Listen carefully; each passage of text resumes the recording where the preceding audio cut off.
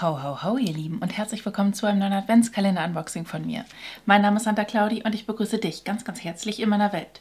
Heute werfen wir einen Blick in den Jax Beautyline Adventskalender, der sich nun hier befindet. Und wenn du Bock drauf hast, mit mir zusammen mal diese Schätzchen zu erobern, dann hol dir was zu essen, hol dir was zu trinken, lehn dich zurück, genieß die Show und viel Spaß mit dem Video. Äh, ja, angeblich haben die die Kritik umgesetzt, steht auf jeden Fall auf der Homepage. Ich bin gespannt, wir werden uns das mal von innen anschauen. Der kostet normalerweise 149 Euro, wenn man sich dort registriert registriert sind es 129 Euro ne? und äh, 400 Euro Warenwert sollen drin enthalten sein. Ich bin wirklich gespannt und ich glaube auch die liebe Nicole von Chiquitas Place wird genauso gespannt sein. Sie stellt ihn jetzt auch gerade vor. Also für eine zweite Meinung schaut gerne nach diesem Video bei ihr vorbei und solltest auch du Teil der Crew hier werden wollen, abonniere doch super gerne meinen Kanal und folge mir auf meiner kleinen, aber feinen Beauty-Reise. Dieses Mal kommt er auch in so einem Karton und äh, hier haben wir dann die einzelnen Boxen drin enthalten. Man den nicht jeden Tag öffnen? Hello. Hello. Du, ich habe eine Frage. Der Jax Beauty ja. Line. Wo sind ja. denn die anderen Kläppchen? Ja, Telefonjoker hat mir meine Frage beantwortet. Es sind nur zwölf Kläppchen in diesem Adventskalender. Und hier startet es auch tatsächlich nicht mit der 1, sondern mit der Nummer 2.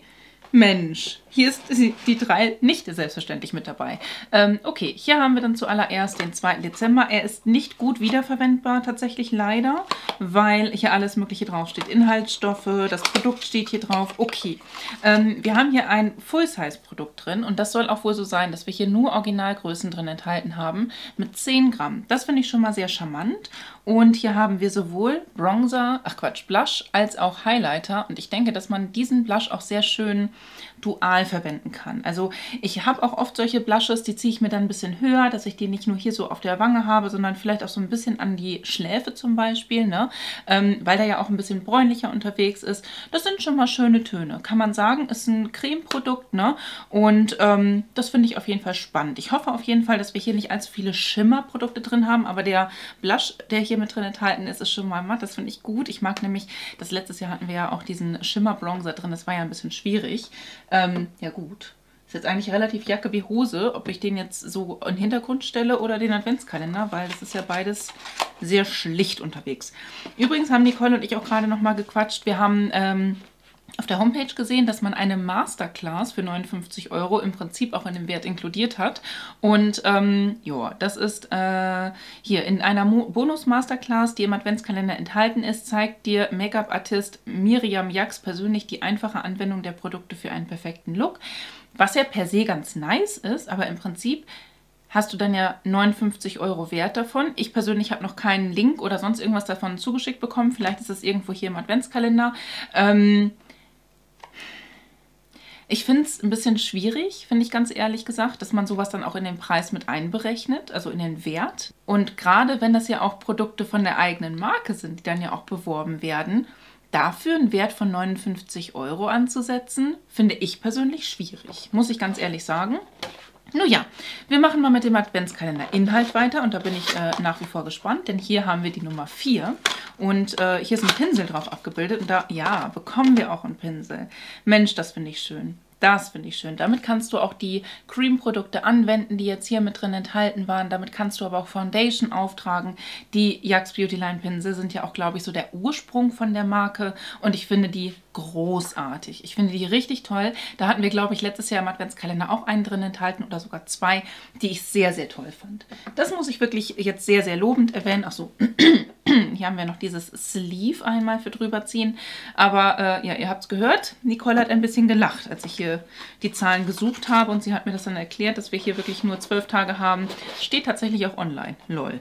Ähm, ja, dann schauen wir mal in den Nikolaus, den 6. Dezember. Das ist einmal hier dieses Produkt. Happy Nikolaus steht hier auch drauf. Und das ist hier auch etwas ausgestopft, dass du da halt, äh, dass das Produkt nicht kaputt geht, denn das ist ein Puderprodukt. Wir haben hier ein Eyeshadow Duo drin erhalten, was ein wunderschönes Produkt sein könnte, wenn man halt sich einen Alltagslook schminken möchte oder wenn man halt dieses Produkt äh, für einen Abendlook oder so nehmen möchte.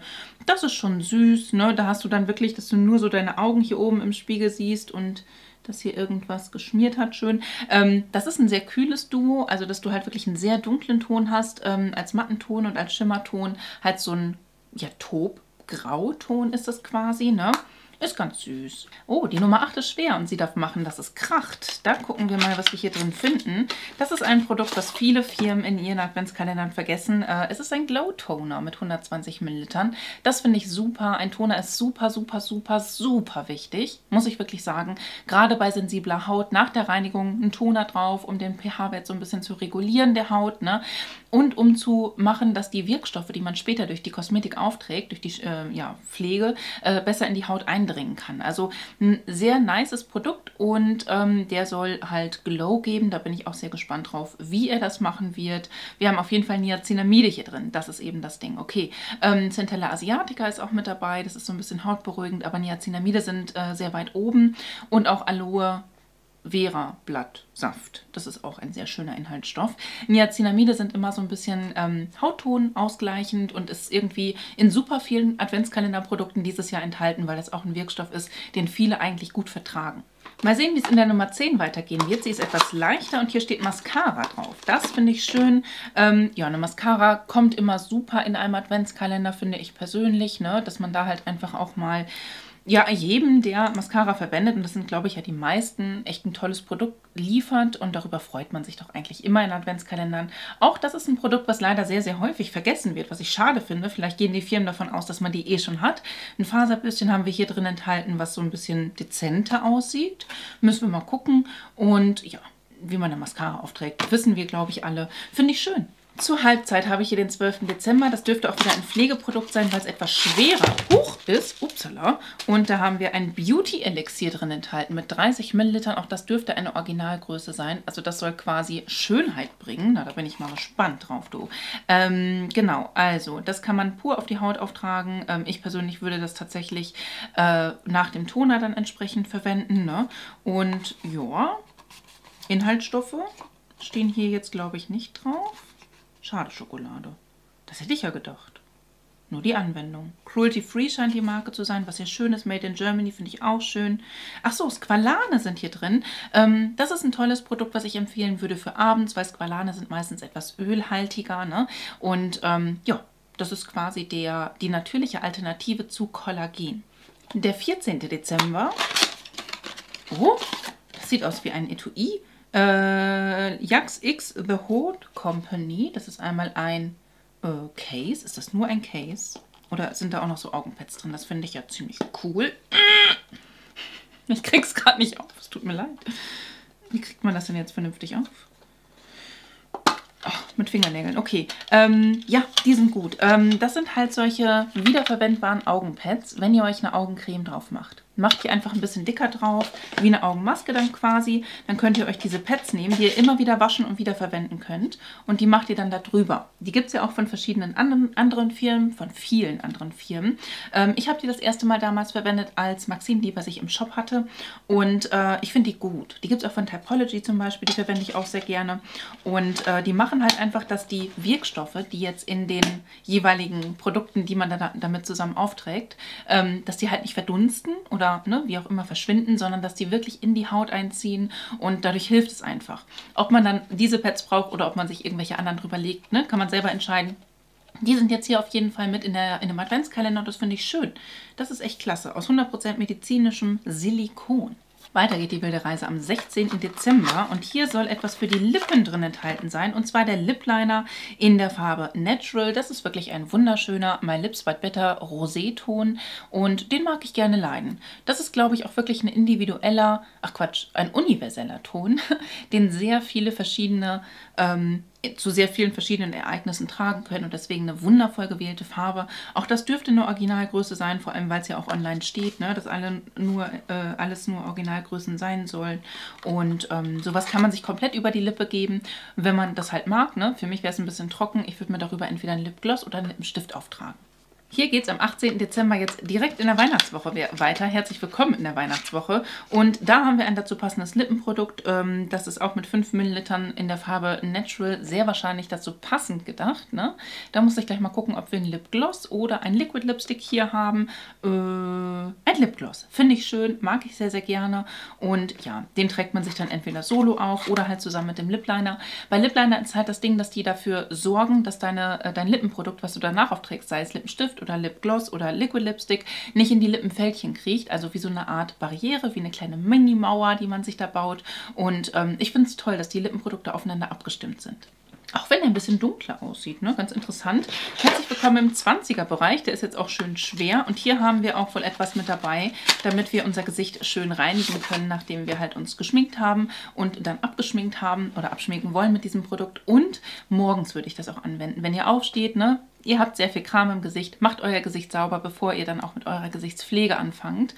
Ähm, 100 Milliliter habe ich hier drin enthalten und sowas finde ich immer sehr, sehr nice. Das ist ein gutes Basic-Produkt, was jeder gut gebrauchen kann. Ähm, das ist hier mit Panthenol, was hautberuhigend sein wird. Vitamin C scheint hier auch drin enthalten zu sein. Kamille ist auch immer eine schöne beruhigende Sache. Melisse und so weiter und so fort. Aloe Vera hast du hier auch mit dabei, aber halt auch ein bisschen Parfümstoffe. Da muss man dann gucken, wie man das so verträgt. Das ist äh, Hartplastik und äh, ein Pumper. Also ich finde, das ist ein interessantes Produkt. Wenn ich jetzt nur zwölf Kläppchen hier drin habe, hätte ich das ganz cool gefunden, dass die halt eine Auswahlmöglichkeit gegeben hätten. Dass du sagst, du möchtest einen 12-Tage-Adventskalender, okay, aber möchtest du einen Pflege-Adventskalender oder möchtest du einen Make-up-Adventskalender? Das wäre so mein Wunsch gewesen, weil wenn man halt nur so wenig Produkte hat, es ist genau wie mit dem Fenty Beauty Adventskalender, dann hast du hier halt wirklich beides drin, aber halt leider nur zwölf Produkte insgesamt und das finde ich für mich persönlich ein bisschen schade. Ähm, hier habe ich jetzt den 22. Dezember, zwei Tage vor Heiligabend. Und hier haben wir etwas drin enthalten, was du Bam in Your Face verwenden kannst. Und zwar ein Glitter-Eyeliner. Meine Güte, sieht der schön aus. Muss ich wirklich sagen. Das wird ein Dip-Eyeliner sein. Und äh, damit kann man dann akzentuieren, nennt man das ja so freundlich. Ähm, der sieht aus wie Schnee. Das finde ich wunderschön. Die Frage ist, wie viele Leute verwenden so einen hellen Eyeliner? Ne? Den kannst du dir zum Beispiel, wenn du dir einen schwarzen Eyeliner gezogen hast, on top nochmal auftragen. Jetzt nicht unbedingt den Wing entlang, sondern zum Beispiel halt wirklich nur hier auf dem beweglichen Lid bis zum Ende hin oder nur bis zur Hälfte Hälfte, wie man möchte. Oder man trägt ihn halt hier so am Knochen entlang auf, ne? von der Mitte anfangend bis zum Knochen. Was du aber auch damit machen kannst, ist, wenn du dich mit den dunklen Farben geschminkt hast und das Ganze noch ein bisschen aufhellen willst, dass du dir den zum Beispiel in den Innenwinkel gibst und das auch ein bisschen mit auf dein bewegliches Lid ziehst. Das öffnet das Auge halt optisch nochmal ein bisschen. Ne? Richtig cool eigentlich, aber ich glaube eine relativ schwierige Farbe, die nicht jeder, der den Adventskalender so öffnet, verwenden möchte. Oder wie seht ihr das? Schreibt mir das gerne mal in die Kommentare. Und ähm, ja, jetzt äh, packe ich die 22 wieder zurück und nehme jetzt schon das Highlight raus, die Nummer 24. Und ähm, die ist jetzt hier. Scheint ein Pflegeprodukt zu sein. Merry Christmas Set and Refresh Spray. Nee.